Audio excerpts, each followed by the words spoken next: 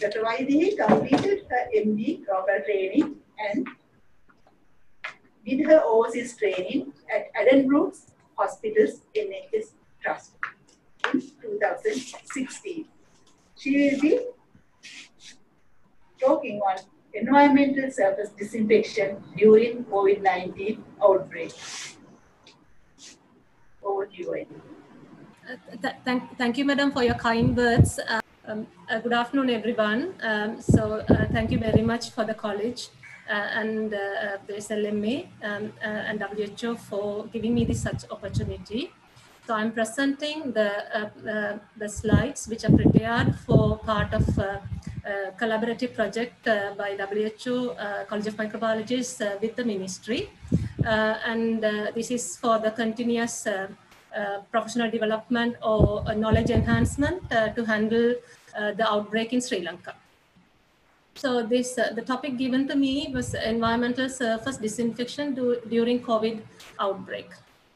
So because it's so, so important and uh, so it has become so popular uh, soon after the pandemic, so then uh, we need to discuss certain points. So that's the so so I'm starting with the, uh, the, the definitions uh, because everyone knows, but just to uh, rem, uh, remind certain things. So the disinfection, antiseptics, and cleaning. So look similar, but they have uh, uh, uh, they have definitely a specific meaning. So disinfection is a process that eliminates uh, um, all um, pathogens or most of the pathogens, but it doesn't eliminate the bacterial spores but it's it's it's only it, it's referring to only to the inanimate things inanimate or non-living objects not uh, the living objects. So when it comes to antiseptics similar but it it addresses the living tissue. Cleaning is a good old cleaning that is we just removing the visible uh, soiling or dirty things using general purpose the, the, the, the soap and water like things. We just just mechanically um, clean the clean the dirt parts. So that's a cleaning. So disinfection on non-living and antiseptics on living tissues and cleaning is just a removal of um, uh, um, visible dirt part. So um, uh, this uh, this is a chart. It's it's, it's very useful because uh, household disinfectant. So whenever we talk about healthcare facility, that's something. But when you come to because of the pandemic now, everyone is alert and uh, people want to do disinfection and things. Okay, I, I hope you all can see now. Uh, so then uh, um, uh, it, it try the, the, the chart trying to address the common items or services uh, which we want to clean. So for example, telephones, keys, spectacles that we, we usually bring out, bring home after, after going out. So what we can do to those things, so we can just clean and wipe with alcohol um, uh, and or with warm soapy water after returning home. Uh, so so frequently touched surfaces like uh, tables, door handles, light switches, those are the things what we can do. We can regularly wash with, uh, clean with household detergent all-purpose cleaners like uh, BKC, that is uh, benzalkonium chloride solution like that, or even chlorine uh, preparations in low concentration, we can do that. And uh, fruits and vegetables, again, we can clean with running water as we know, know well. Uh, so this is uh, this recommendation for general household disinfection where you don't have a patient or you don't have a suspected patient. So, but uh, the the main thing is uh, we we should not uh, touch the face while performing any cleaning because it, it two purposes. Only thing that you can infect yourself, and the other thing is that we can the the irritation of eyes and mucous membranes due to the chemicals we use for disinfection and antisepsis. So then, uh, when we consider house uh, disinfection of household items, when a suspected COVID patients there, so where we have to extensive cleaning, extensive disinfection should be uh, we have to practice. And again, we can clean and disinfect high-touch surfaces in daily daily in household common areas like tables, hard-backed chairs, and doorknobs and light switches and handles and all, at least daily and uh, we should remember we should clean before disinfection. If you see any any um, dirt or soil that, that, spilled food or anything that should be cleaned before we um, uh, disinfect. Because we all know that uh, disinfection use, uh, we are using chemicals which are readily inactivated by um, organic particles. So cleaning is important before we disinfect any surfaces.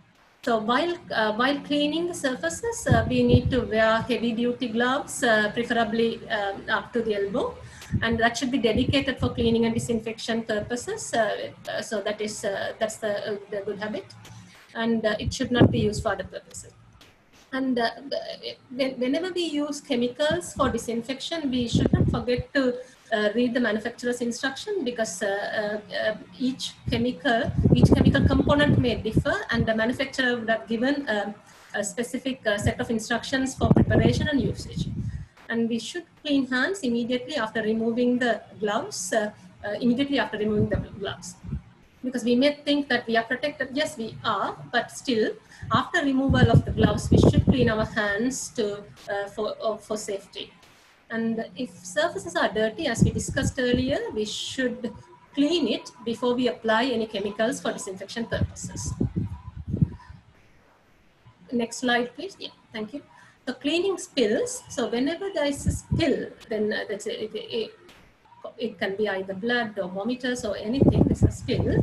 So then we need to, this organic matter will definitely inactivate disinfectant. So, and the, the, other, the other important thing is we should not allow the spill to spread over the surfaces. So we usually put a uh, put some something which can absorb the thing which is spilled.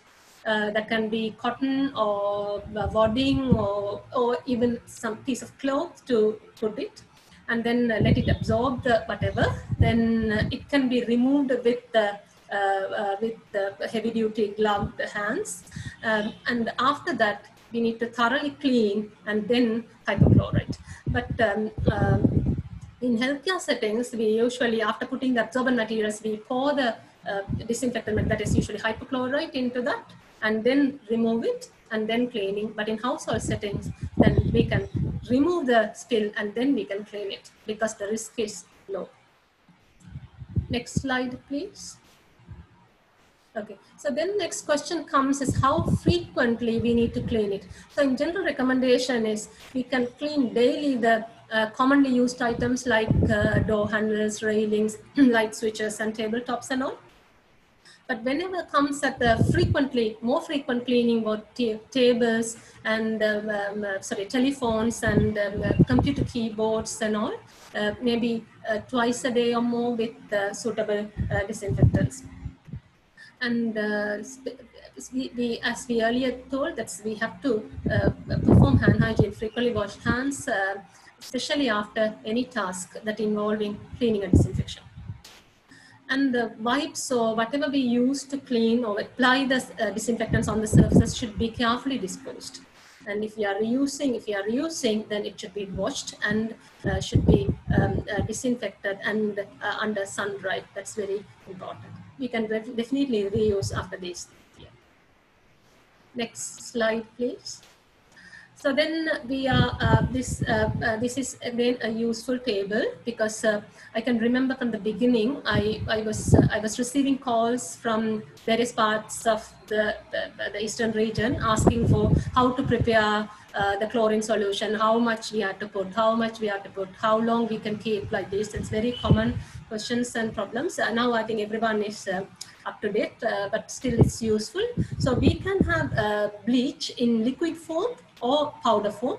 So liquid form, it's called household bleach. Uh, the, the, the common brand name is Clorox. So it has, it has, it contains sodium hypochlorite in five to six percent solution, and we can dilute into dilute accordingly to get 0.1 percent solution. But it should be freshly prepared. That means if we are preparing in the morning, we can use the same solution for the, for the entire day. But the next day, we have to prepare a fresh solution. We can't keep because it will reduce the potency.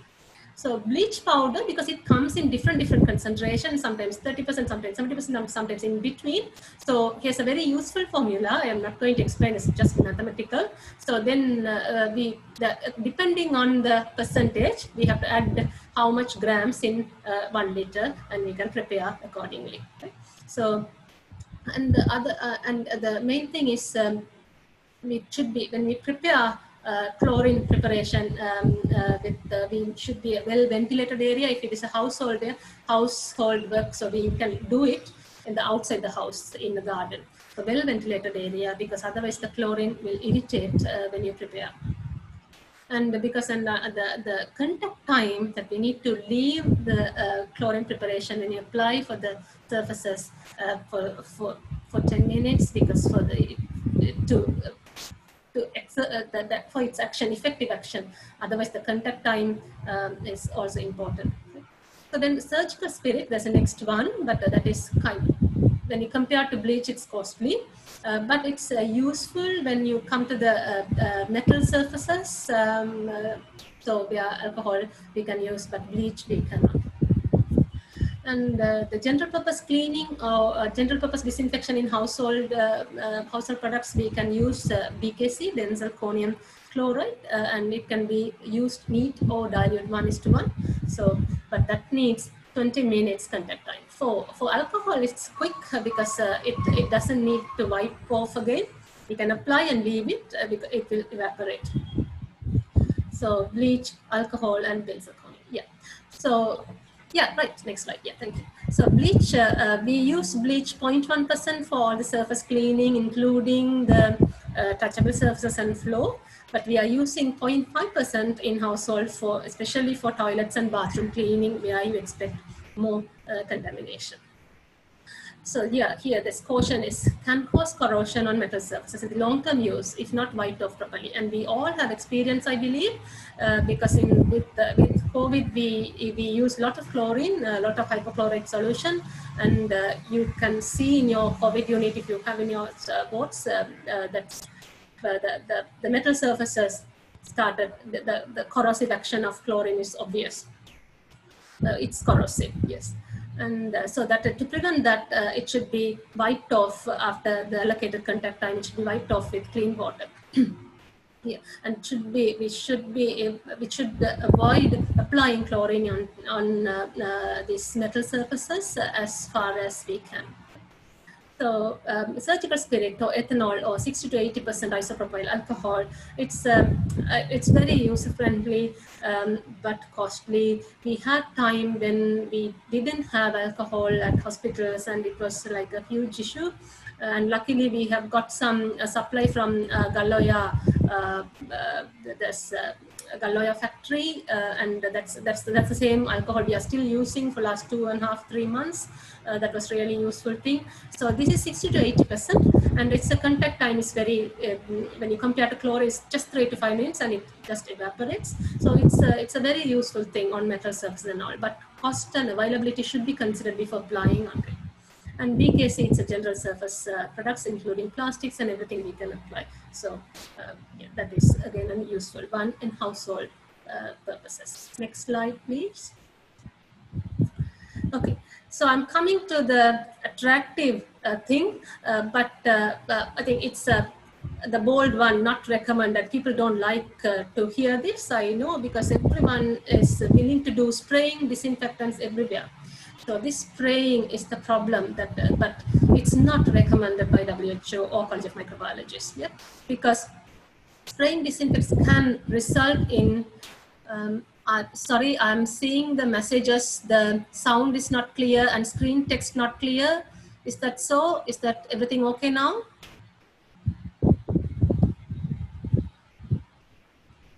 Organizers, is everything okay? So I have, I can see on the chats that, okay now, oh, I can see now, okay now, clear, right, that's good, okay. So spraying of disinfectants and we don't recommend because of the reasons we listed down here, because when you spray, the risk to the eyes, respiratory, skin irritation, and that's more than the effect we expect on the bacteria or virus or whatever and the spraying or fogging of certain chemicals such as formaldehyde or chlorine-based agents or quaternary ammonium compounds is not recommended due to adverse health effects on workers in facilities where these methods have been utilized. Yes, so that is very, very important. Even though they are wearing the adequate PPE, but the, the effectiveness of spraying is very questionable. So whether are we doing the right thing or wrong thing, we should consider. And if disinfectants are to be applied, yes, this should be done with a cloth or wipe it off that that's the cloth which soaked in that particular disinfectant can be used to wipe off the surface, surfaces. Right? and in case of chlorine, we have to wipe off immediately uh, or five to 10 minutes later with clean water as well to prevent corrosive action on metal surfaces. Right. So in continuing the spraying of disinfection and uh, other uh, no-touch methods, uh, so uh, uh, the, the, the other, other thing, other attractive thing people are doing, media is publishing all over the world, it's being utilized, but we actually don't know the efficacy in outdoor spaces, spraying or fumigation out of outdoor spaces such as streets or marketplaces, it's it's very questionable because it's uh, it has lots of organic materials. It can be either dirt or natural organic materials. When you spray these disinfectants on it, as far as we know, that doesn't have any effect because the, the disinfectants we are spraying on them will be immediately deactivated by the organic materials present on the surfaces. And moreover, if it is on an outside surface in Sri Lanka, like country like Sri Lanka, where the temperature is so hot, we are getting that uh, UV light directly from the sun, the UVC, which is uh, more effective against um, infective agents, is, is more in the temper, the, the, the countries which are near the uh, countries like Sri Lanka. So we are, uh, so we, we, we have that advantage and with a well ventilated, uh, well uh, lit um, outside spaces, what's the point of spraying is really a questionable thing. So cleaning the touchable surface is different, but spraying outdoor is entirely um, a different thing and it's not recommended because it's not effective. And the other thing is, other thing we should understand, we have seen media enough and enough time. They spray on people, uh, they are with all this, uh, um, uh, their normal dress and lip. So, so this, this the, the, clothes are porous surfaces such as, so then uh, these things and uh, unpaved walkways and things, when you spray, so then it doesn't have a, um, there is no scientific evidence which has effect. So we need to think whether what we are doing, we are with panic, we are doing things, but it doesn't have a scientific basis. Next slide, please. Uh, so it's continuing. So that's spraying on individuals with disinfectant. That's why that's such as internal and cabinet or chamber. Uh, so I have I have received a call in early April, like uh, one of our faculty uh, students, uh, uh, nursing students, and they have they have asked me. So they they are trying to design a, um, like a disinfectant chamber and give my ideas. And I told, I'm sorry, I cannot, and I don't recommend because that, that, that doesn't have a meaning because because of the media so they are very attractive and they want to do that and they think if a person goes through the chamber they are sterilized so it's it's not like that so it's not recommended under any circumstances that we should understand. And uh, it could be physically and psychologically harmful. It's very, very important and would not reduce an infected person's ability to spread. So it doesn't have any effect on infected person's ability to spread the virus. Yeah, that's the important thing. And uh, uh, moreover, spraying individuals with chlorine and other toxic metals will cause more harm than any good. So next slide, please. So um, uh, uh, this is very, very important slide because it's a novel disease and information will emer emerge daily. And so the recommendations may change. So we need to keep ourselves updated and change practices as indicated at the given time. So we should be, uh, we should know that. So these are uh, the references. Thank you very much for the opportunities. Uh, I would like to answer any questions. I can see a question on the chat uh, that um, whether the frequently touched surfaces like doorknob and light switches can be cleaned like thrice a day or more. So the, the our slides showed it's um, uh, at least twice a day. And another thing I am sure, seeing, spraying is still happening even in the airport, etc. Uh, they, oh, so many things are coming they um, they they are they are spraying on the hands and the feet and shoes etc i'm really sorry. Yes we are also seeing i don't know how to stop these things. Uh, people believe in these things and uh, I, I, actually don't know what to do. And i also i'm also seeing some other question. What is the place of chlorhexidine for cleaning and disinfection yes chlorhexidine is an antiseptic agent. So we we the, and that's very costly and i don't think that we can recommend chlorhexidine for surface disinfection. Madam uh, madam suggestion if there's any And I can see another question, do we need to wash fruits and vegetables with soap and water? Yes, uh, it's not that indicated. We can wash with running water, but we can use even uh, soap and water or even hypochlorite that is CDC recommends in 0.05%, very low concentration. And another question I'm seeing is dipping shoes in chlorine tub has value. Uh, yes, it has value, um, especially in the healthcare settings. I don't think in a routine household practice we need to dip shoes in chlorine tub. The, the main thing I would like to uh, focus here, the take home message is that uh, spraying uh, spraying outdoor should be and spraying outdoor and spraying on individuals should be considered seriously and we have to try our maximum to stop that cannot tolerate anymore. Uh, I can see some more questions here, sir. A maximum time duration that a KN95, N95 can be used. Yes, uh, we cannot say because it depends on the uh, on where you are using it. Uh, and if you are sweating a lot and your mask is wet, or you have uh, you have faced a splash on your face, then you have to immediately remove. Otherwise, you can use uh, as far as you can. And another thing I can uh, see, how often do we need to clean the door handle per day? At least daily. Yeah.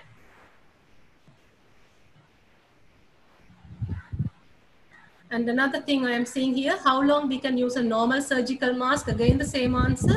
So if you are wearing on a very humid env environment or very humid uh, room or uh, whatever the ward or uh, wherever you work, if you are start sweating and your mask is wet inside, then you need to remove and change. Yeah. Uh, I hope it's uh, uh, um, uh, the presentation is useful and thank you again for the organizers and the uh, college. Thank you. Uh, the next presentation is from the Dr. April Baller, joining us from the WHO Health Emergencies from the headquarters Geneva. Over to you, April. So thank you all so much. My name is uh, April Baller, Dr. April Baller. I work in WHO HQ, as was mentioned, in Geneva, uh, within the WHO Health Emergency Department. Uh, and I'm, I'm, the IPC lead here. We work very close. We're a big IPC team that works in the health emergency, but also in the global IPC hub, which is part of the essential services. In addition to that, we have many regional IPC focal persons um, and we have our colleague from SEARO Masahiro and also Dr. Pushpa. So I just want to acknowledge everybody and all the work that has been done has been done as a team. Um, so thank you for this opportunity. And today I have the privilege to speak about uh, COVID infections among healthcare workers, what we know. So the agenda items are, we're going to be looking a little bit around the epidemiology, the burden of the disease, some of the risk factors for healthcare workers becoming infected, the psychosocial and uh, psychological impact of, of the disease and having to manage patients with the disease, and finally, some of the available tools that, that there are to address some of these issues.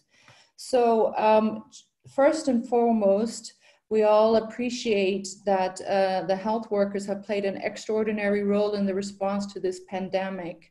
I think if there's been one silver lining uh, of all of this, it's to the, the, public and also the, the, the governments have started to acknowledge the important role of healthcare workers. Uh, what you see here is a report that was done by Amnesty International, uh, and uh, it was really a call for action because in spite of all of the good work that they've done and the enormous challenges that they face, the governments have not adequately uh, protected them. Um, when they have raised concerns, there has been reprisal, uh, either from the, the hospital authorities or also from the government authorities.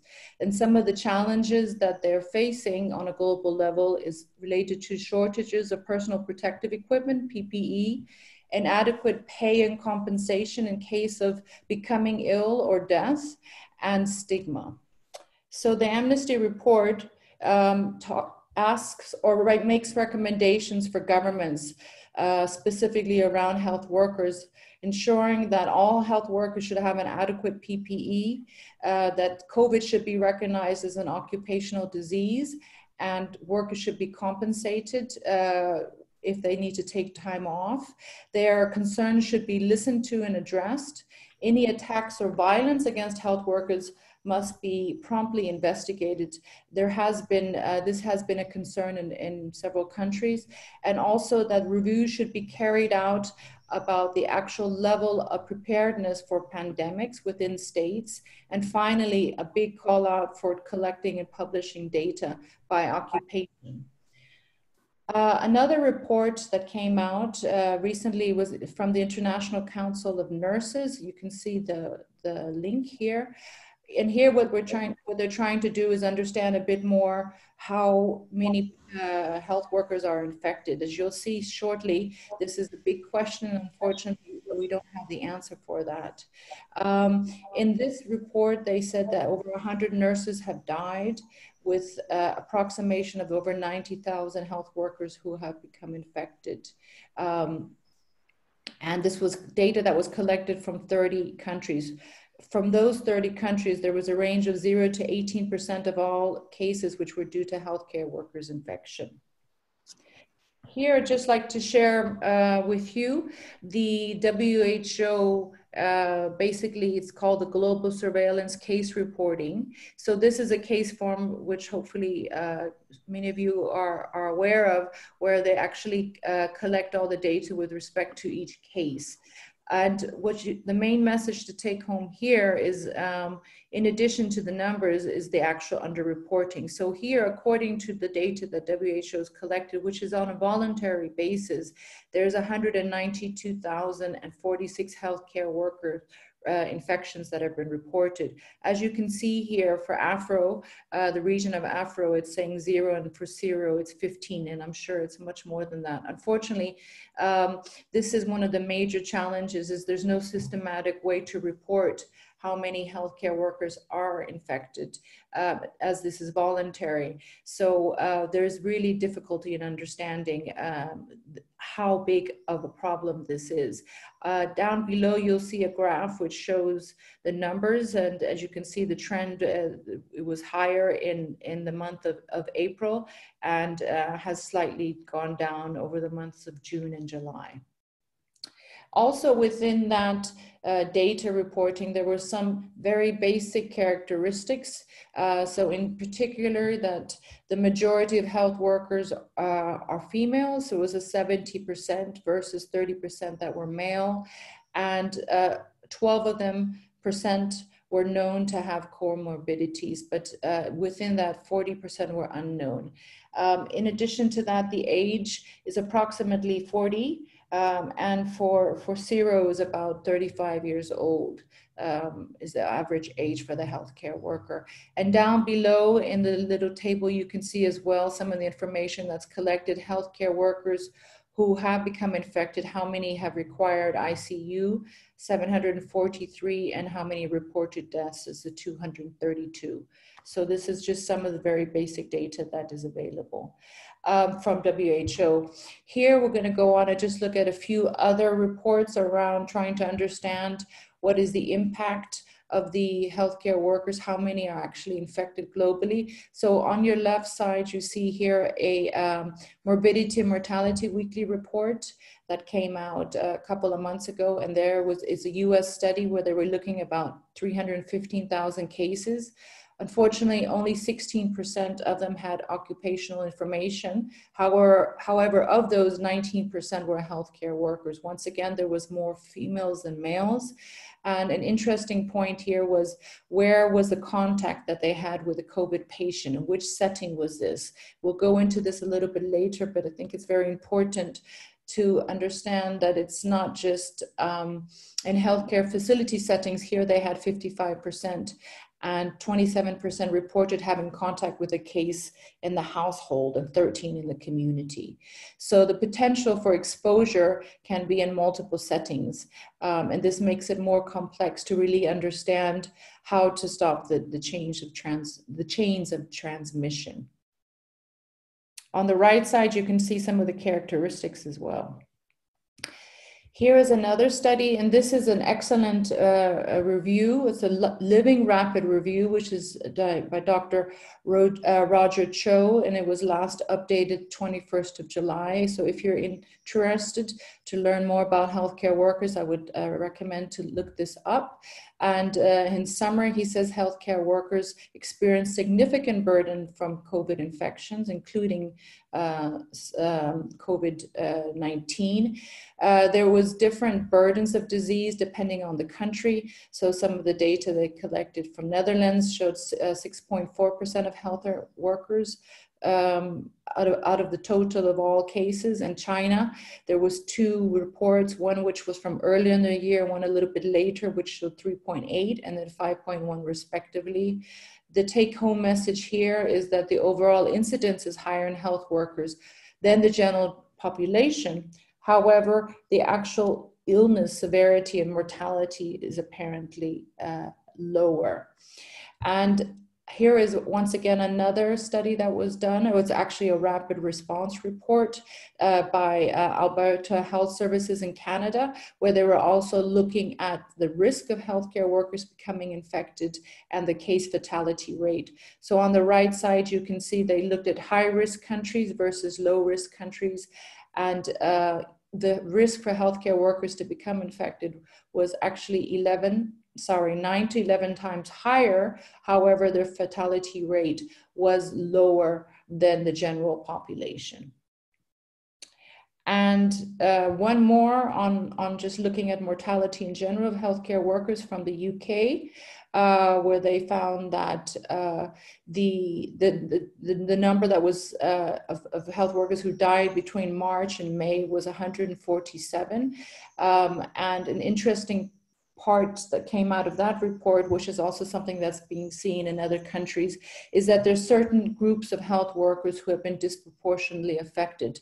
Here they have what they call the, the BAME um, health workers, which is from, um, uh, I think it was is Asian, British, yeah, uh, oh sorry, Blacks, Asian, and minority ethical groups. So saying that even though within the healthcare workers who do become infected, those that actually go on to develop severe disease are, are is a disproportionate. And this is also something I'm sure you've been hearing about from, from the States where they're looking at more the Latino groups um, and certain uh, ethical groups which seem to be uh, have a higher impact when they were looking at the mortality rates and seeing what were some of the, the reasons for the lower mortality, they, uh, they, the assumptions was that it was due to greater access to PPE, uh, having fewer older people working as health workers compared to the general population, and then also due to increased access to testing.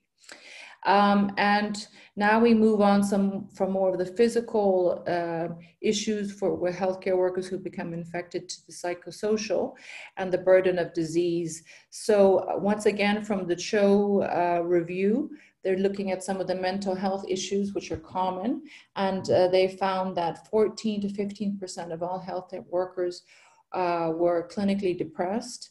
Uh, 12 to 24% uh, had anxiety, 30 to 39% psychological distress, and between 8 to 60%, 8 to 60% had sleep issues. And the risk factors for this was being female, having direct contact with cases, and being a nurse. And on the bottom right, you, there's another report there where they uh, did a deep dive and looked at some of these psychological burdens. This was in Germany and saw and noted that especially nurses working in wards were affected psychologically compared to physicians or doctors. And here is another interesting article. This is looking also at the impact uh, on healthcare workers psychologically. However, this was not just looking at COVID, this was also looking at any emerging um, viral disease. And what you can see here on the right side is uh, they, they were comparing uh, some MERS and SARS, uh, Ebola, um, between staff who were exposed to managing patients with those versus uh, the control with staff not uh, managing infectious disease. And what they found here was that um, those who were exposed to the virus had higher levels of, uh, had a greater level of post-traumatic stress uh, and also psychological distress. And some of the risk factors are, are mentioned here. I won't go into that. Um, so this is quite interesting to see that yes, right now during the COVID, there is a lot of psychological uh, concerns, but these are things that come up uh, with, with other infectious disease outbreaks as well. And then here, this is taking a step back and looking at healthcare workers' infection within the context of hospital acquired infections. Um, as uh, you know, healthcare workers infection is one component of hospital acquired infection. And what's interesting here, if you look on the right side, is these are showing what they were doing here is they were looking at what are the contributions uh, to transmission. So, what are the different ways that transmission can happen? And uh, it's quite uh, it, there's a, quite a lot of variability and what you can see is that uh, anywhere you see a red arrow this is the potential way that the transmission can happen. So between staff between patient to staff between patient to patient between visitors to staff and patient and this is just in the hospital setting. You also have the interaction between of course the hospital setting and the home setting. Then you have the interaction between the community and the hospital. For example the people are coming uh, in to uh, you know to provide food. And then there's also uh, links between the hospital and the care home. So it's just to show it's quite a uh, it's a quite a complex environment where transmission can be happening in many different uh, areas and therefore to to identify policies and strategies uh, also needs to take this into consideration. Um, and what they did here as well is that they looked at what were some of the inadequate IPC, infection prevention and control practices, which led to the hospital acquired COVID. And once again, this was linked to failure to use PPE, inadequate hand hygiene, uh, not properly disinfecting surfaces. Uh, so just to acknowledge and appreciate the, the speaker before, Dr. Galagodan, who, who really emphasized the importance of that. Um, and then uh, lack of appropriate physical distancing, and importantly, also to separate infected from non infected patients and staff who are looking after them. So, uh, in summary, the impacts of the healthcare workers' infections, in addition to the impact on the individual healthcare worker and their, and their close and loved ones, it's also the potential for further transmission within the community and the healthcare facility. The impact on the health system, of course, is that uh, health workers they have to they have to be taken out of the system, and this uh, leads to workforce depletion and a heavier load on the remaining staff, which once again exposes them to a higher risk of becoming infected. And then the society impact is that the communities can have increased mistrust in the services. Uh, now we're going to go into just briefly some of the risk factors. Um, and this was very, also very uh, insightful, where it looked at uh, really what was the increased risk uh, in certain areas. And one of the highest risk, as was mentioned earlier, was having suboptimal hand washing before or after patient contact. This increased the risk by three. Um, improper use of PPE, almost by three as well. Working in high risk departments such as ICU or emergency departments increase the risk by, by two, um, and then insufficient education and training. This is just a, uh, uh, just an interesting view on um, some information that was captured from, from Liberia and West Africa, where they were looking at uh, what were some of the breaches in IPC. Uh, and this is consistent with the previous slide, which showed that uh, up to 30% uh, were not uh, doing hand hygiene before procedure and uh, uh 15, 16% weren't doing uh, hand hygiene after procedure. And importantly here, that 35% uh, were not using the mask when they were supposed to. Um, and then when it was asked why, then it was because they explained that they had limited supplies and that often healthcare workers had to use fabric mask instead of the medical mask. And also very importantly, the limited monitoring of the IPC program we don't have time to go into this today, but um, the minimum standards of an IPC program need to be in place to really ensure that uh, IPC practices are maintained. So if countries don't have these programs in place, it becomes very challenging for them to address all of these issues in the height of an, an outbreak. Here, just very quickly, uh, in the interest of time, this was a, a, report that was looking at what are some of the barriers to health workers adhering to IPC guidelines. There are many guidelines out, and I will come to those in a minute from WHO side, but of course also at national level. And uh, one of the challenges they seem to have is that that the, the the guidelines are long, they're constantly changing, there's not a lot of buy in to them. Um, in addition to that, they don't necessarily have the time to be properly trained. Another key area that was a challenge for, for workers to actually implement the guidelines was related to the infrastructure and the lack of space to isolate patients. Uh, this is very important and something that they found that was helpful was that if all of the staff uh, were on board to implement the guidelines. So here we're just transitioning the last couple of slides to looking at some of the tools that are available for health workers. We've discussed some of the main problems. Now, how are they addressed? Some of them can be addressed, um, and others are obviously uh, uh, major research questions that need to that are being looked at as we move forward. So there are some uh, studies that are ongoing. There's a case control study that's available on the WHO website and a surveillance protocol. And what these are trying to do is um, really understand a bit more in depth what are some of the risk factors for healthcare workers infection. In addition to that, there's this risk assessment, uh, which is available online on the WHO website as well. Um, and hopefully it's being used in some of the health facilities where you're, where you're all working. And this, what it does is it helps to identify health workers that have been exposed to a case if they're high or low risk, uh, and then how they should be managed. In addition to that, WHO has many guidance out. There's about 10 specifically on IPC. And just to highlight to the group here, uh, one of the main uh, uh, new updates is on the advice of the use of mask in the context of COVID. And for here, what's now recommended in the latest uh, version that came out on the 5th of June is that all healthcare workers that are in a hospital should wear uh, a medical slash surgical mask when they're seeing any patients, irrespective of if they're COVID or not. And this is taking into consideration the potential for asymptomatic or pre-symptomatic transmission. Uh, and then there's many training, online trainings, which are free. And I hope that everybody uh, will, has access these, or if not, that they will after this.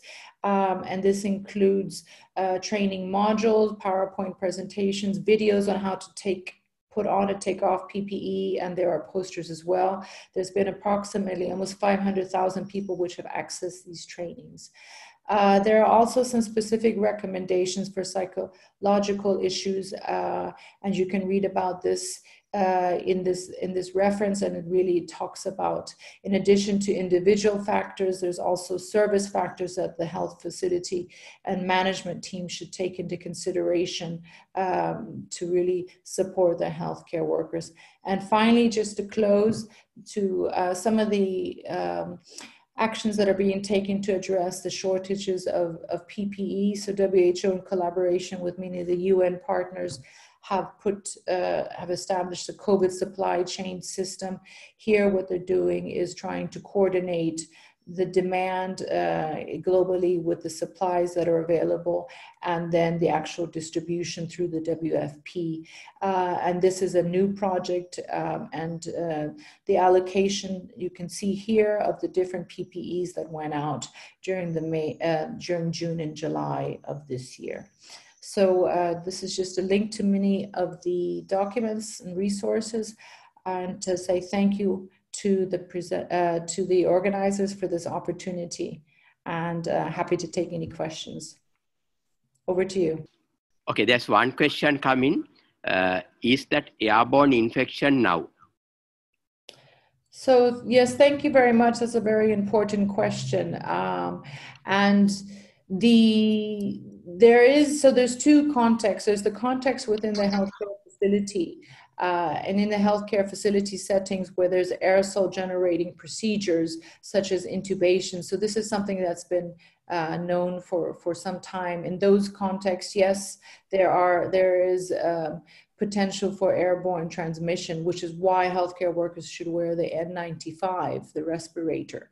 Um, outside of the healthcare facility setting, which is really what a lot of the discussions has been on lately, there are certain settings where there has been uh, super spreader events and uh, in, in specific settings which are closed settings, for example, uh, in bars or where there's been a choir. There's um, a very good uh, WHO scientific brief on modes of transmission and identifies many of these settings.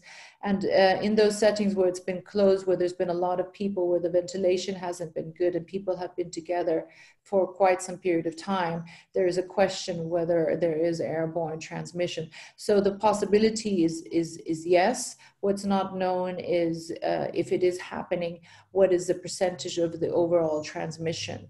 Uh, there's still uh, WHO. Um, still uh, says that droplet and contact transmission are the main modes of transmission. Some of the discussions around the airborne have been looking at uh, laboratory experimental, where they've been able to to project uh, viruses. So until now, this is still under debate uh, and uh, watching the space and really requesting that there should be more research done to better understand this.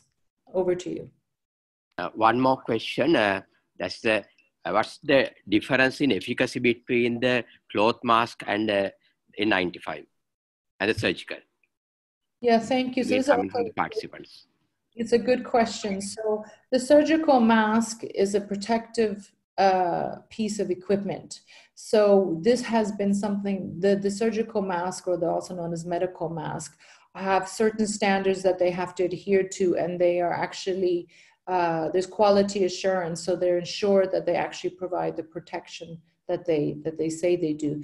Cloth masks are something that are generally uh, made either in the community or even made at home. So they provide a barrier, but it's not clear how much of a barrier they provide. That's why cloth masks, uh, WHO is uh, encouraging the use of cloth masks for source control, which means that in, to stop a person who's infected from infecting somebody else uh, because the idea is that there's bigger droplets so it can capture that. But the cloth mask there is no evidence uh, to show that there's something that to prevent somebody who's not infected from becoming infected. So at the moment uh, they are really um, uh, the advice is to use them to stop one person infecting another but not to stop someone becoming infected over. Uh, because uh, there are many other questions coming in, but because of the interest of time, we'll be moving to the next presenter. The next presentation will be from here, from Vijayaram House. Uh, that's uh, Dr. Sudath Dharmaratne, who is a director of the Director of Healthcare Quality and Safety, and uh, from WHO Country Office. And he'll be talking about the role of medical administrator in supporting IPC programs and training at the hospital level based on eight competency WHO framework. Okay, this is the outline of my presentation. So I will discuss in detail about each, each of these areas.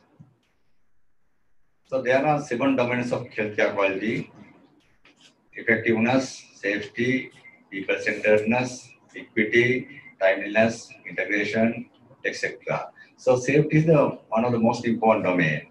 So we are trying to reduce harm associated with healthcare to an acceptable minimum. Therefore, IPC is a critical issue in patient safety. Healthcare associated infections prevalence in high, high, high income countries is about 7.6% and is about 10% in low, low and middle income countries.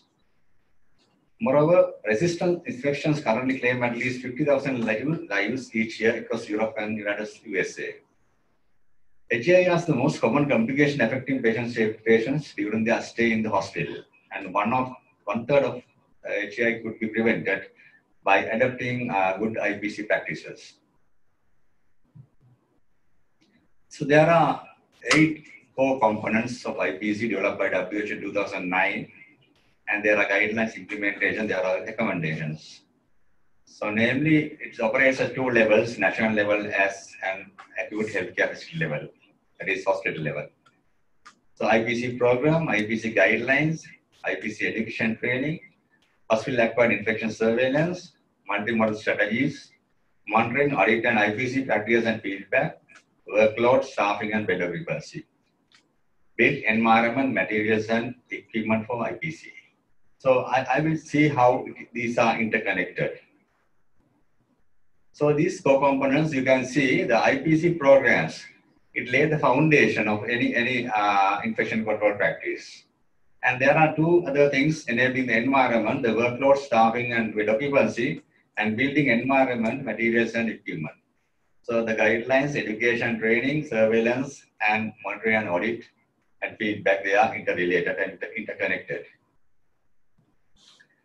So co-component one, IPC programs in healthcare facility level, an active IPC program should be there with dedicated trained team should be in place. So our hospital, they have uh, dedicated IPC committee, infection control committee headed by consult microbiologists, usually the directors, the more public health, infection control nurses, everybody get together and they meet regularly and aiming at preventing hospital-acquired infection and combating MR. At the national level, there should be active standalone national IPC program with clearly defined objectives, functions, and activities. So we are in the process of establishing this kind of national IPC program uh, in collaboration with College of Microbiologists as early as possible. And it should be linked to the other relevant national programs and with other professional organizations. And IPC guidelines, the evidence-based guidelines should be developed and implemented for the purpose of reducing uh, hospital-acquired infection. And thereafter, education training is very, very important. Based on these guidelines, we have trained the staff. Moreover, monitoring, monitoring of the adherence to the guidelines is very, very important because we know there are, we know what to do, but we don't do. So there is no do gap. So we have to monitor the effectiveness of the training, whether it's implemented successfully. This is also training, IPC education training is a third component, and it should be given to all healthcare workers from the senior managers, uh, from the bottom line uh, staff. For example, cleaners should be trained about IPC. Then we have to do the periodic, periodic evaluation of effectiveness of the training and assessment of the staff knowledge. And there should be a national IPC program should support the education training of the health workforce. We have to see as it is a very, very important function and hospital-acquired surveillance. In a healthcare facility level, the facility-based surveillance should be performed to guide the IPC interventions to detect outbreaks, including MR surveillance. For example, uh, suppose if there are uh, catheter-related infection or surgical site infections or maybe cannula site infections, it is very easy to detect. You can ask the nurse uh, during the water in the morning to see the number of uh, patients have been cannulated and number of uh, cannula uh, has been infected. So easily, if there are signs of inflammation, the nursing officer can check uh, and do this surveillance and collect the data for action. And also there are infection control nurses in Sri Lanka, so they also can, uh, with the guidance of the microbiologists, they can come and uh, do the cross-checking. At national level, HI, uh, surveillance programs and network that includes mechanism for timely data with feedback also very, very important because if there's such kind of data, we can use this data for benchmark some hospitals. And these are the common uh, hospital-acquired infections, the UTIs, the surgical site infections, then lower respiratory tract infections, and blood infections. And the core component five is multimodal strategy. So this is very, very important strategy. So this is the way to achieve system change, climate, and behavior that supports IPC. So it is oriented to prevention. For example, uh, if we detect a catheter-related UTI, maybe uh, ventilator-associated pneumonia, or maybe a, a cannula site uh, infection, then you have to think about uh, system change with the, what are the, how can we rectify it? So there are five elements, system change, training education, monitoring feedback, reminders, communication culture of patient safety. Uh, then uh, we have to think about how, how we, how we uh, prevent it by doing some root cause analysis. So IPC activities using multiple strategies should be implemented to improve the practices and reduce uh, infection. National level also, the national IPC program should coordinate and facilitate the implementation of IPC activities through multiple strategies on a nationwide or maybe in a subnational level, regional level. So I'll explain in detail what do you, what do you think about uh, how, how we organize these multiple, multiple strategies. Example, how to develop an action plan. There's a problem, multiple thinking. So pro our problem may be um, uh, cannula site infections. So what is the issue? There may be, uh, we have sometimes, uh, uh, there may be problem with the system. The system change is needed. So what resources, infrastructure or supplies are required to facilitate the best practice? And who, need to, who needs to be trained and educated to address this identified gap? And who will undertake this task? How will you improve? How will you know that the improvement has taken place? And how will you publicize action on specific measures and promote improvement and the best practice in this area? And how will you make and maintain this as a healthcare priority and engage senior managers, leaders, champions, and opinions? So you have to think about sometimes you have to change the system. Sometimes you have to do the training and education. Sometimes you have to do the monitoring and evaluation. And then you have to do some communication disseminations and promote improvements. And you have to change the culture. So this is the multimodal thinking. So the five elements, the system change, you need to enable the IPC practice, including infrastructure, equipment, supplies, and other resources. And training and education to improve healthcare worker knowledge. And monitor and feedback to assess the problem and drive appropriate change and document practice improvement.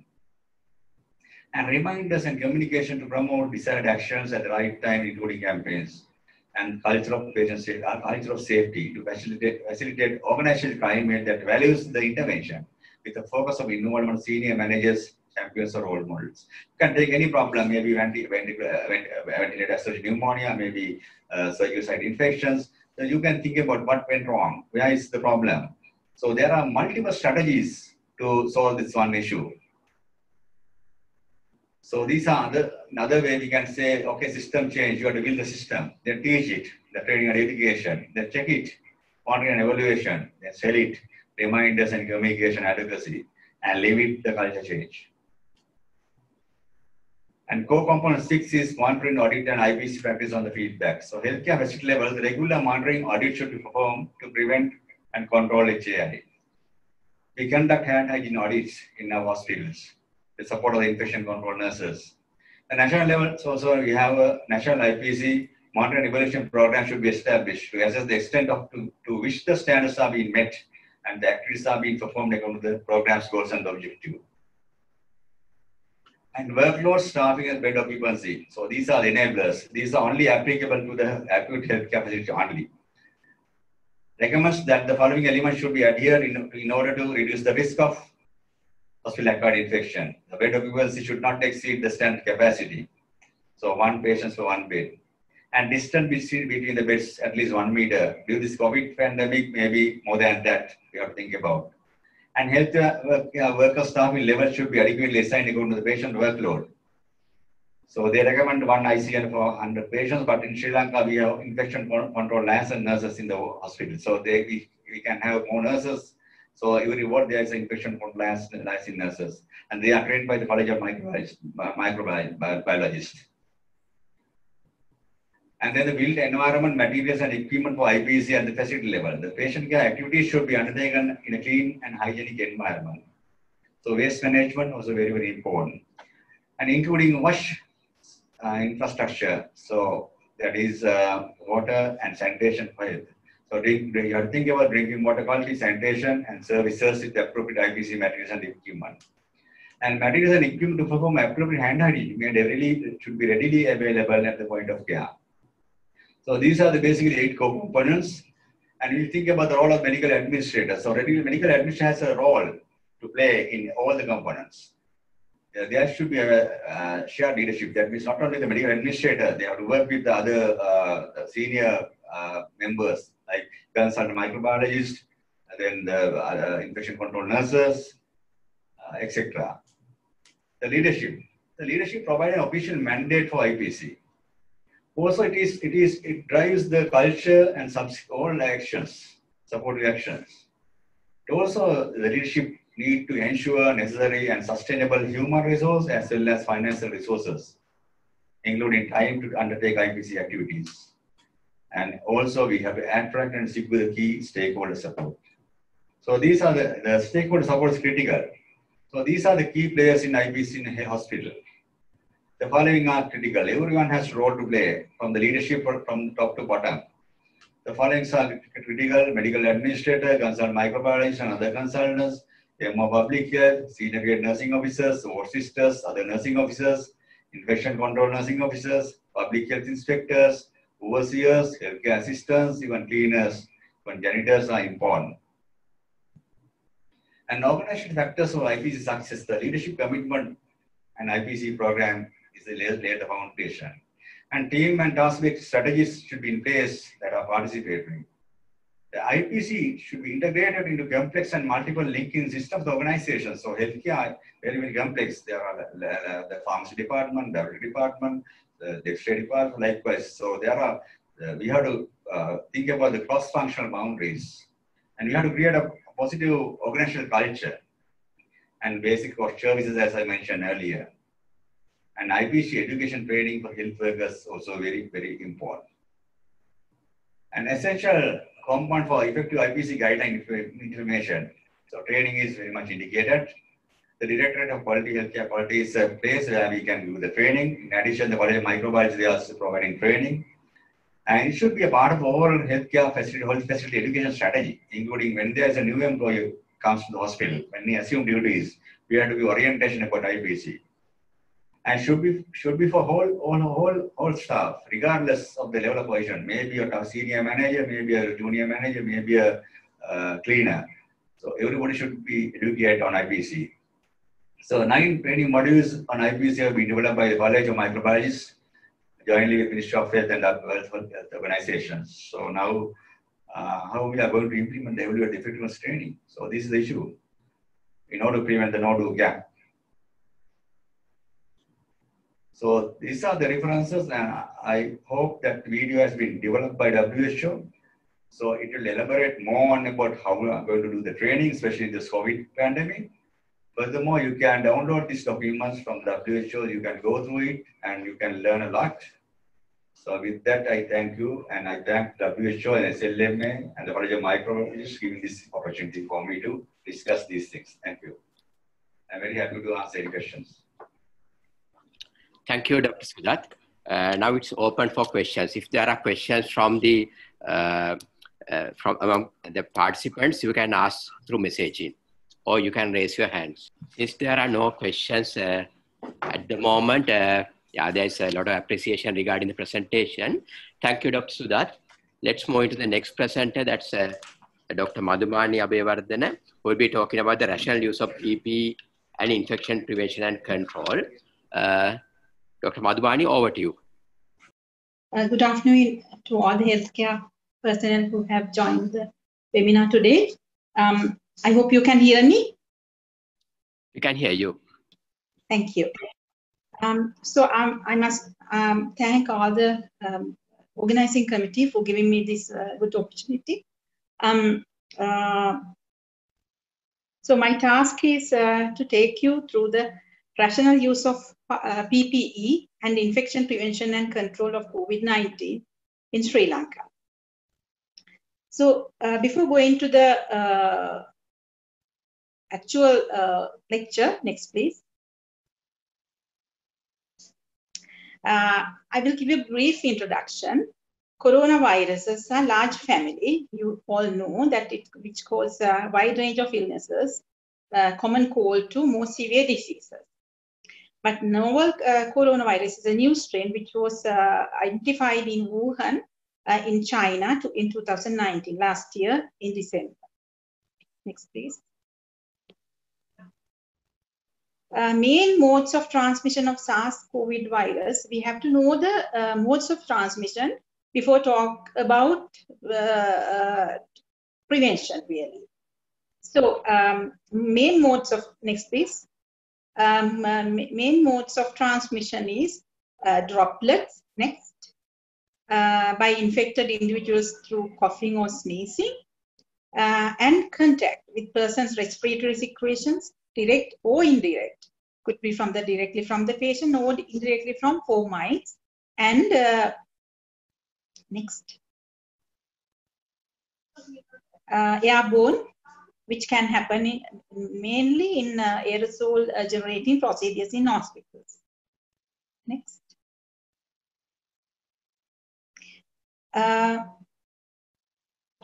so uh, in uh, infection prevention and control, we need to practice few things. Firstly, in hospitals, we know that standard precautions are always we need to follow. And apart from standard precautions, we have to follow appropriate transmission-based precautions and uh, appropriate disinfection practices. Disinfection practices you have heard now a few minutes ago, and uh, appropriate transmission-based uh, precautions means contact precautions, droplet, uh, droplet precautions, and airborne precautions. Next. Um, so just to give us a brief idea about standard precautions, which we must follow all, all the time, this is, uh, they are aimed to reduce the risk of transmission from blood, uh, bone or other pathogens, uh, both recognized and unrecognized means symptomatic patient as well as asymptomatic. This we should always uh, consider when we handle patients. May, uh, hand hygiene, always and the personal protective equipment. Uh, then respiratory hygiene and cough etiquette, safe injection practices, staff safety, linen and patient care equipment, cleaning and environment cleaning and waste disposal. Next. So this is standard precautions. Now, when we talk about uh, SARS or COVID-19, we have to additionally prevent the mode of transmission as well. So, firstly, droplet precautions. Next. Mainly, we have to keep the distance. So, droplets drops on you if you are closer to a patient. So, if you can keep the distance at least one meter, the droplets won't uh, land on you. The other thing is uh, wearing a, a, medical mask in the hospital. Uh, the next uh, uh, precaution is contact precautions either you should not touch or avoid touching or wash your hands with water and soap or using alcohol hand rub. The next the indirect one, uh, touching the fomites. The patients can cough on uh, and the droplet will remain on surfaces. If you touch them and touch your face, you get your, the, organ, the pathogen onto your face. And uh, the, so either you should not touch uh, the, the surfaces often or never touch your face with contaminated hands and frequent, frequently wash your hands. The next thing is air, airborne precautions, which mainly can happen in hospitals where aerosol generating procedures are uh, undergoing, where you need to uh, either you have to um, avoid crowded places close crowded places or if it is in the hospital you should have to wear the appropriate uh, personal protective equipment such as uh, N95 mask or you call uh, respirators, goggles and uh, gloves as well. Next. So when you talk about droplet precautions, ideally you should have a single room uh, for the patient, but you know that we don't have that facility in our country. But we can at least keep the patients one meter apart from each patient. Next, our main topic actually, personal protective equipment. We should have for droplet precautions, medical mask, eye protection, goggles, face shields, and gown. And we should limit the movements. And if the if you want to send the patient to somewhere for for an example, to take a, um, an ECG or X-ray, you should not send the patient through crowded corridors or some places to avoid exposing others. Next. Contact precautions. So again, we better if we have a single room patient placement, but we, we know that we don't have that facility, but we can cohort the patients but mainly we have to follow hand hygiene, following WHO five moments we can remember before touching the patient, before um, engaging or doing uh, aseptic procedure, after touching the patient, after body fluid exposure, and after touching patients around. We need to um, uh, uh, strongly adhere to the hand hygiene, especially in contact precautions. Apart from that, PPE would be gloves and gown. And we have to clean and disinfect the equipment because equipment may contain patient's droplet. And again, of course, frequently touched surfaces we need to clean uh, very frequently, like door handles, railings, and so on. Next. Next, please. Yeah, PPE, because this is the best, and the main thing in our topic. So in air- airborne precautions, uh, where uh, the aerosol uh, aerosols are generated, better to have again a single room. I know it's again difficult, but then of course we uh, the best thing again uh, uh, negative pressure rooms. Again, we don't have negative pressure rooms, but we still have windows, and so that we can make the room well ventilated.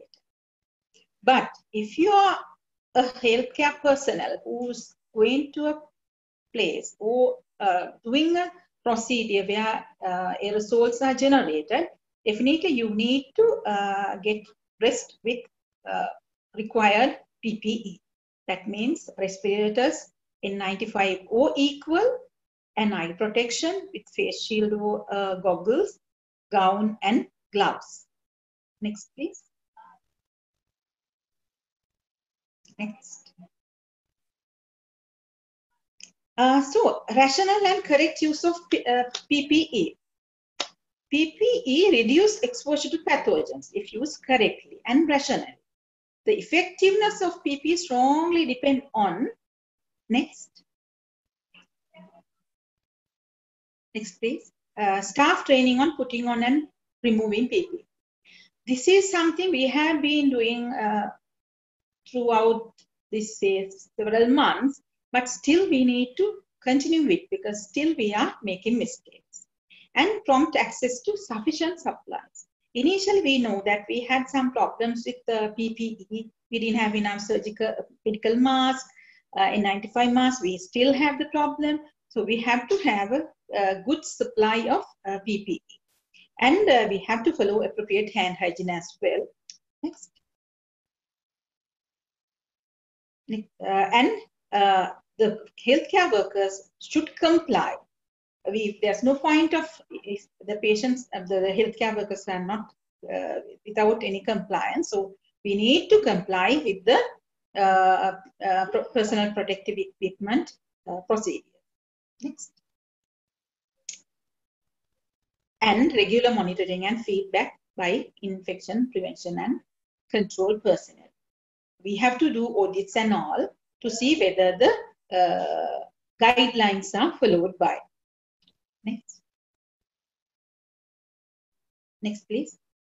Uh, rational, how do we use uh, personal protective equipment rationally? So first of all, we have to assess the risk, whether it's high risk, medium risk, low risk, and the extent of contact anticipated.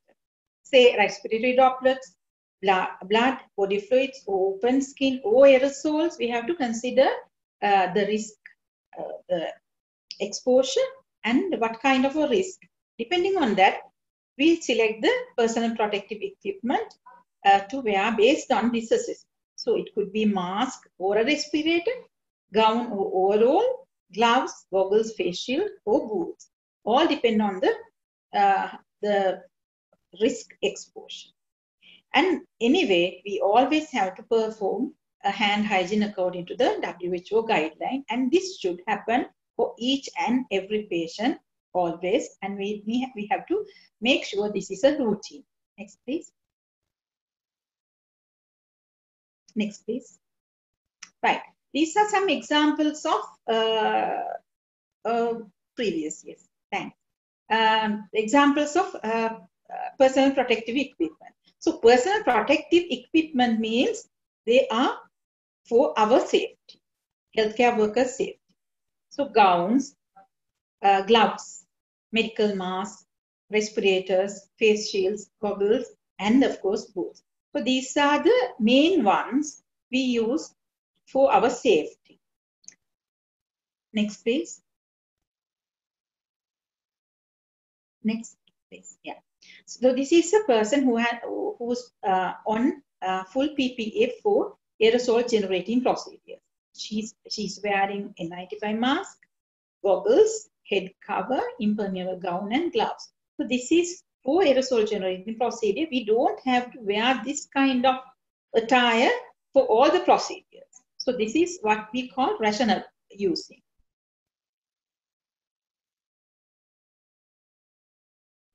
Next, please. General guidelines on using uh, uh, personal pro protective equipment. As I mentioned, uh, personal protective equipment should be appropriate. It should be uh, indicated for this procedure particular. Frequent hand hygiene and respiratory hygiene always. Perform hand hygiene before donning and after don doffing uh, PP should be removed immediately after the procedure is completed. Extended use beyond the clinical area will contaminate other settings. We have to remember that really well. We can't keep on our personal protective equipment forever. I mean, very long period than it's necessary. Discard the PPE uh, in an appropriate waste container, closed bin with your bag. Having the mask beyond the recommended activity will lead to higher chances of mishandling, which in turn will lead to contamination of hands and face. I have got few pictures. Uh, next, please. Things we are doing when we are wearing something which is for a longer period than indicated.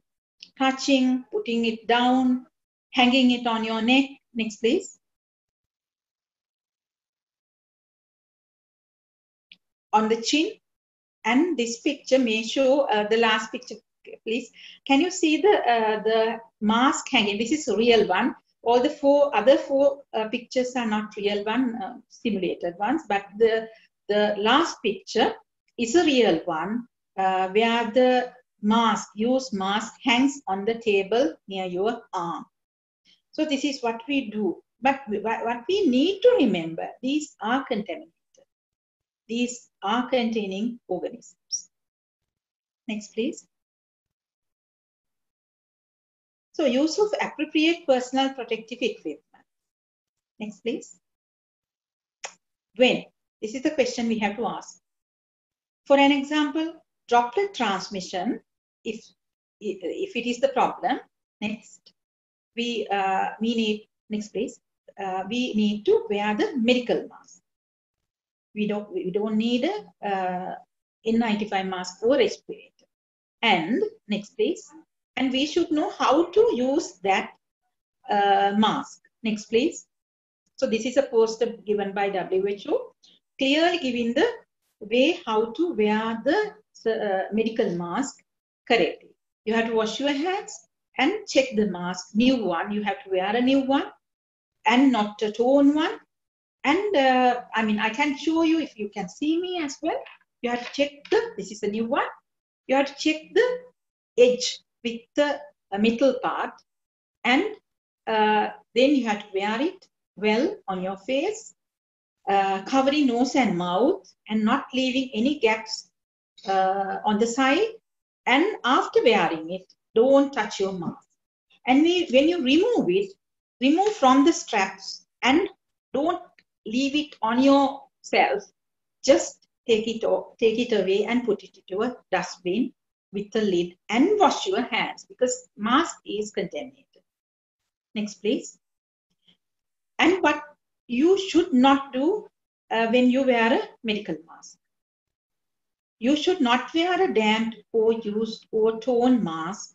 You should not wear the mask under your nose to cover only the mouth. You should not wear the mask so that uh, there's a gap between you, the mask and the face. You should not touch the face. You, you must have seen this happening all the time, but it's wrong, it's harmful. And, uh, and the, again, you should not uh, uh, leave it hanging and don't leave it on surfaces for others to get contaminated. When you remove it, do not use the mask again. Medical mask should not be reused. Next, please. No mask can protect you if you wear it incorrectly. You can't say that I have worn the mask, but I got the infection because if you wore the mask correctly, you are most likely protected. But you, for the sake of doing things, don't just wear the mask on your chin or somewhere because you will not get protected, but you are making more harm than even non-wearing. Next, please. So this is next thing is uh, N95 mask or respirator. So we need to wear it when aerosol generating procedures are done. Uh, first of all, as always, you have to clean your hands with alcohol hand rubber, wash your hands with soap and water, and take the mask with the straps. You have to put it on. I can show one uh, N95 mask, but I'm not going to wear it now. Uh, so you have these straps, which goes both on the back of the head. And after putting it on, stay very safely, uh, press it so that it fits your face because in uh, we don't have the facility of uh, fit test in our hospitals. What we can do is the seal test only. So we have to seal it and we positive seal check means you have to blow the mask and it should not go out. The air should not leak from the sides or anywhere. And negative seal check, inhale, you have to inhale deeply. So the mask gets sucked onto your mouth. So if so, it's done correctly. Next, please. Uh, if worn N95 without a seal, no protection because aerosols, even though you are wearing loose hanging, just imagine just because this is a 95 mask, you can't just put it there just to hang unless you seal it well because otherwise aerosol will get into the face, onto your nose and mouth through the gaps. Next, please. Important. Although initial fit test is, as I said, fit test is not available in most uh, uh, institution in our country. Therefore, it is critical to uh, do the seal test. And uh, the, the other problem is, uh, what about having beard uh, and mustaches? Next, please. We know since the mask should fit on your face, if you have particular different kind of mustaches or beard, you can't fit the mask onto your face well. So CDC has next place has shown some pictures where um, uh, you can have a mustache, still wear the N95 safely, and uh, the incidences where you can't use with your mustache. So this is another problem. We don't take much, uh, we don't consider actually. Next, please. Putting on PPE. As I said, perform hand hygiene, put on the gown, put on the mask, put on the eye protection, put on the gloves, then you are ready to do a, uh, go to a patient. And when you're taking off, remember, this is the most important thing, even more than putting on the PPE, because uh, when you are putting off means doffing, the all the personal protective equipments are contaminated. It contains germs. So initially, you have to remove the gloves and then the gown and then perform hand hygiene. Because when you, you just remove the gloves and put it a uh, yellow bin and remove the uh, gown and again put into a yellow bin and perform hand hygiene. Then afterwards, only you touch your face side. Remove the face shield and remove the mask. In between, you have to wash your hands as well. And after removing all the uh, PPE, you have to uh, wash your hands again, either wash or uh, use the alcohol hand rub for disinfecting um, hands. Next, please. Uh, so, uh, minimum uh, personal protective equipment recommendation for various settings. What do we mean by minimum? Because we can wear a minimum thing for protection. We can go beyond that sometimes. That's what we do most of the time. But minimum PPE you need to have to attend a patient. For an example, uh, triage, where patients are triaged, uh, where you don't uh, go to a patient very close, medical mask would be enough. But sometimes you, this is the minimum. Medical mask is a mask, but you can give a shield and you can give a gown if necessary. But minimum, you have to have a medical mask. Emergency treatment unit, providing care for the patients with respiratory symptoms. Within one meter distance, you have a medical mask, gown, gloves, apron, and eye protection. These things are musts. And then emergency procedures such as intubation, where there is possibility of aerosol. That's what I was telling. We have to think what kind of exposure, whether it is droplet, whether it is contact, whether it is aerosols. If it is aerosols, we have to have a NIOSH approved N95 mask or FFP2 standard or equal mask. We know that KN95 mask is there. So we have to have a uh, respirator, impermeable gown, gloves, eye protection, surgical hood, cap, covered shoes, and fluid resistant shoes cover or boots. Next, please. And some other situations. I have taken only few uh, uh, situations. Emergency treatment unit, but cleaning staff. Cleaning after aerosol generating procedure. You don't go just after aerosol generating procedure. You let it settle a bit and then you can go with a medical mask, impermeable gown, uh, heavy duty gloves, eye protection, boots, closed shoes, surgical cap or surgical hood.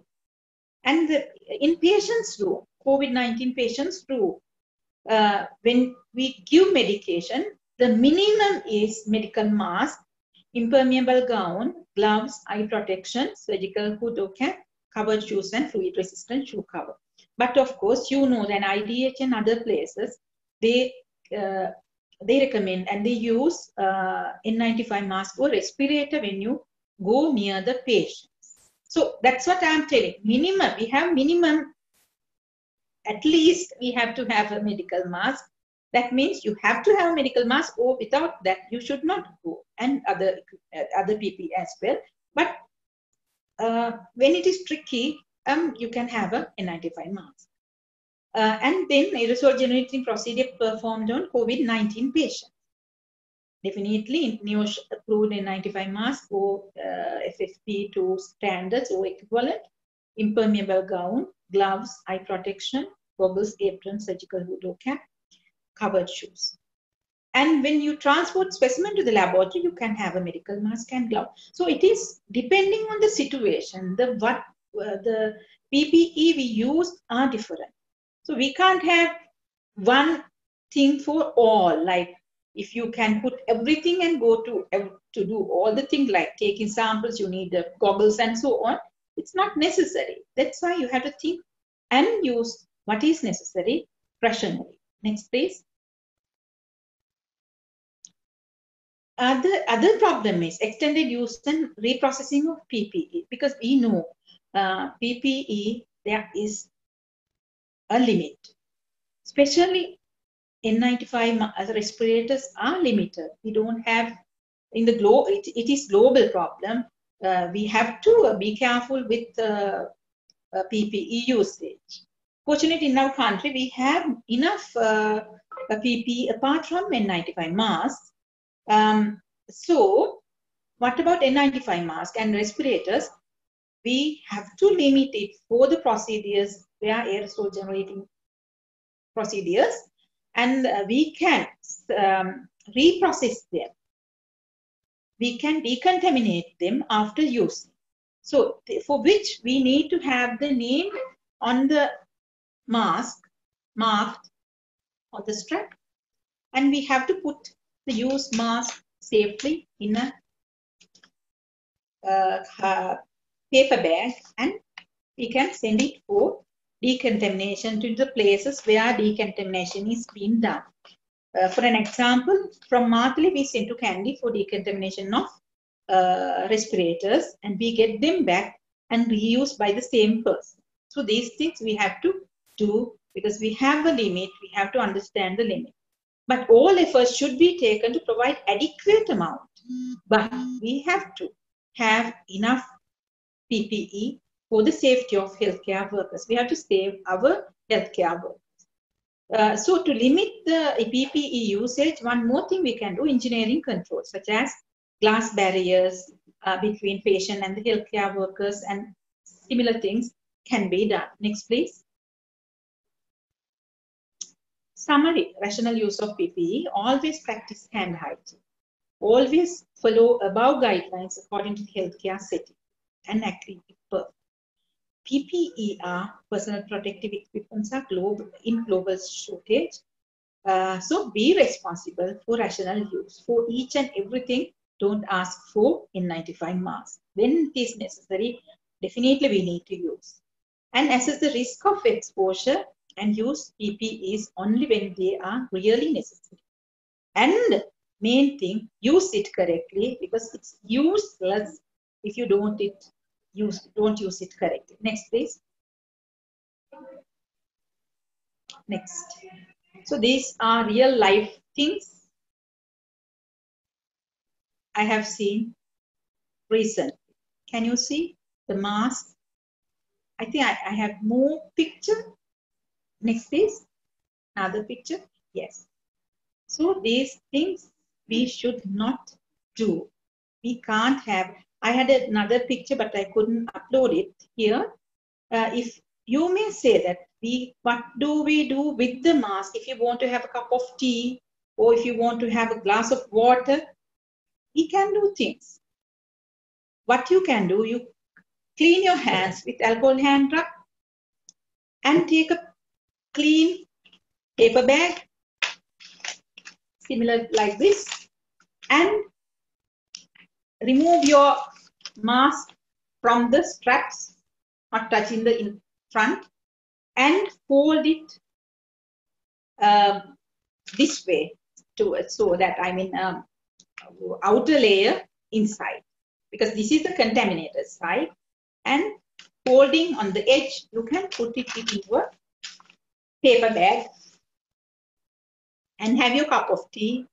And again clean your hands with alcohol hand rub and put take the mask back turn it right way holding only at the edges and put it on and then again clean your hands with hand so it's not difficult but you need to have a paper bag with you that's all so it please don't do these things because it's harmful. There's no protection. You can have more chances of getting infection than not having a mask. Thank you. Next, please. Oh, sorry, I had this picture. So this is what you can do. You can clean your hands, put uh, turn the mask the way I told you, and put into the bag and have your cup of tea and clean your hands back, and you can go for your work because we can't throw the mask often as we want. We can use it, reuse it during the day. It's not for days and days. This is for a, just a short, very short break. But after the day or after several hours, you have to throw your medical mask away. You should not reuse it. Next, please. This is the correct thing. Use your PPE correctly to save your save you and others. Next, please. So hope uh, you will be using the uh, personal protective equipment to protect you in future. Thank you. If there's any question. Thank you, Dr. Madhumanee, for that very informative presentation. Uh, because of the interest of time, we might not be able to have uh, many questions, but okay. one question uh, regarding the difference between N95 and KN95. If okay. you want to respond briefly. Yeah. Yes, uh, so uh, N95 and N95 mask supposed to be actually equal uh, uh, the K95 from Asian region and N95 from, from European region actually, but they have the same, same protection, but there's a small difference actually. K95 has um, the straps like this. Um, the, the straps is straps are this way. So it goes onto your uh, behind your head. But K95 uh, um, uh, goes to as ear loops. That is the difference actually. Uh, what we can see Uh, so as long as you can uh, fit the mask onto your face and you can uh, do the seal test without failing, they are equal. There's no difference, only the name. But if you use it correctly, but definitely you have to uh, test, do the seal test. If it not sealed, uh, it's not good at all either. Even not not the not N95 or because it, it is a particle filtration. So they both filter similarly. 95% particle filtration. So they are similar. Thank you, Dr. Madhumanee. Uh, so let's move into the next, uh, the final part of this uh, pre-conference workshop. Uh, Dr. Padmal De Silva, the National Professional Officer uh, from the Health Systems Policy from WHO Country Office. Uh, he'll be introducing the video clip on the IPC training. Thank you. Over to Dr. Padmal. Yes, thank you. Now I'll just give a small introduction on why we made this and uh, what this is about. Now, globally, we have about one, uh, 15 million cases with around or little more than 620,000 deaths by now. And Sri Lanka, we have about 2,752 cases as at 10 o'clock today and uh, 11 deaths. So, I mean, our strategy had been always to uh, like uh, identify the cases and then do the contact tracing completely, get the contacts to a quarantine center and treat them at designated hospitals. So as you can see, we have been uh, very successful in that effort. So, and in relation to health services, we have a health service that uh, recruits and then trains most of its cadres. So that means we don't have uh, extra pool outside the health system. At the same time, we are running a little less than the optimal number of HR people that we are requiring. So therefore, as all the presenter, presenters were highlighting, the health workforce or protecting that health workforce from this COVID pandemic and the virus had been paramount importance. So that in addition, when we were doing the case identification and quarantine and all the other activities, we had gone into a whole of society and whole of government approach where not only health services, not only the public health, but many other stakeholders had contributed and participated in these efforts. Therefore, the need for IPC was really important for Sri Lanka. And we had identified that need and ministry had made a request, uh, Dr. Panapitiya, the DDG MS1 and uh, Dr. Sudath Dharmaratne, Director of Healthcare Quality and Safety, they had communicated with us the need of a, such a uh, such a venture into this and College of Microbiologists really joined with us in developing a training package of nine modules or a training module with nine sessions according to the WHO global guidelines and the Sri Lankan adaptation into it. So now today, what we are doing is at this session, we thought that it is only ample that uh, and only appropriate that we take this opportunity to put this module out. So this video clip that we are going to show you is sort of a intro and a teaser into this program. I will not uh, stop there, but I will give you a small hint at what is what we are going to do. So we are going to hand over these pen drives and hand uh, like put this material on the internet for anyone to download and review. And at the same time, we are going to hand over to Dr. Sudath uh, Dharmaratne, the Director of Healthcare Quality and Safety. Through his networks, he will distribute it among all the hospitals and the MOH officers so that all staff members of the healthcare team can benefit from this. And in, that, in addition to that, we hope that SLMA will also take an opportunity of distributing this with their counterparts, have it on their web page, and uh, so other people can download.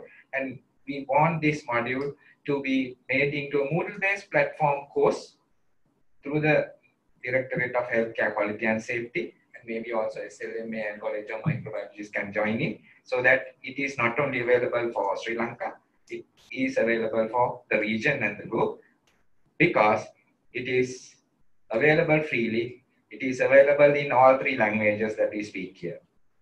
Thank you. So let's enjoy or watch the small teaser of the video. Coronaviruses are a large family of viruses that cause a range of illnesses, from the common cold to most severe diseases. Since the World Health Organization declared the new coronavirus a pandemic, over 14 million cases have been diagnosed and over 600,000 deaths reported globally.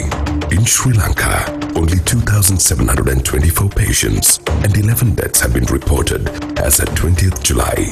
Our health workers are the soldiers at the front line in the battle against COVID 19. In this battle, they're faced with various hazards such as exposure to pathogens, long working hours, psychological distress, occupational burnout, and so on. We need to protect them and ensure we have capable and competent health staff to care for the people of Sri Lanka.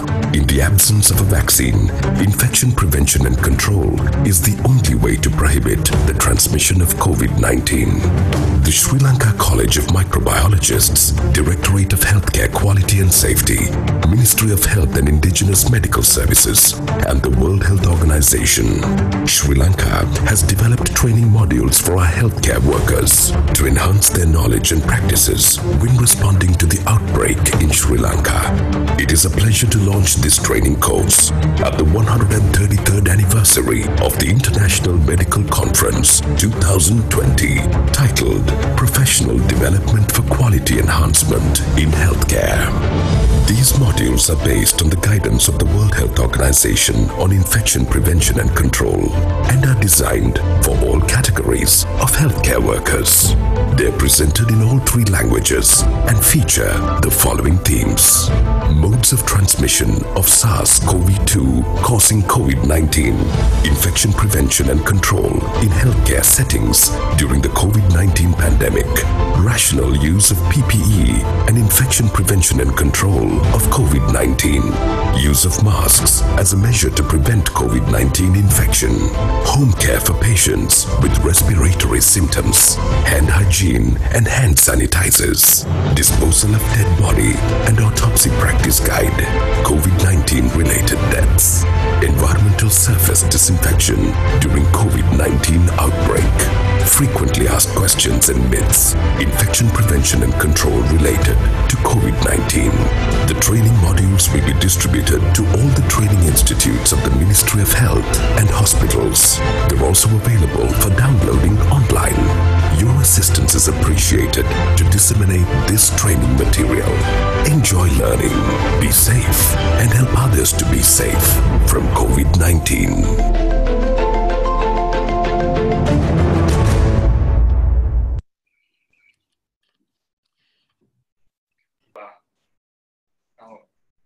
Once you have seen this, I would like to uh, take this opportunity to uh, officially hand over some of these pen drives jointly uh, to President of SLMA. May I also request Dr. Sudath to come on stage?